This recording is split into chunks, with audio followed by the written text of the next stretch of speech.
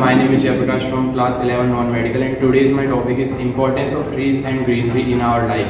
Trees are one of the most essential and useful creatures present on earth. There are more than 10,000 species of trees present on earth. They help to regulate the temperature of the environment and they also called base of the food chain.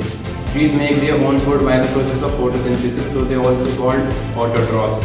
Trees provide us wood which we use in making of tools and which we use as fuel also. Trees provide us fruits and flowers. Trees also provide one of the most essential thing of life that is oxygen.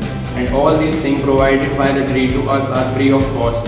In fact, when even people hurts the tree, the tree never refuses or stops to produce fruits for them. So they are very important to us. But some of us greedy person constantly cutting down the trees and when this cutting down of trees done on large scale it convert into deforestation and when deforestation occurs, two major problems arise.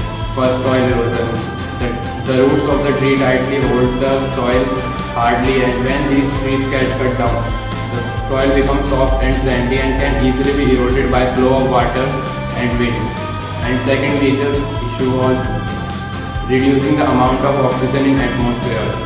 From 4 to 5 years, we constantly learning a small definition that trees convert carbon dioxide to oxygen and what does it really mean? The main objective of this definition is not to learn the definition and write on exam paper for getting 2 or 3 marks.